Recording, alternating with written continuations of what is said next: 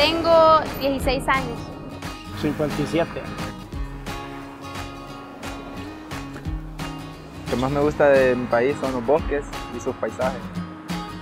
Me gusta que es un país que produce muchas frutas. También tenemos petróleo y tenemos tierras todavía que no han sido explotadas y tenemos bastantes minerales en ellas. Los frijolitos, verduras y muchas cosas. Mi país es bello.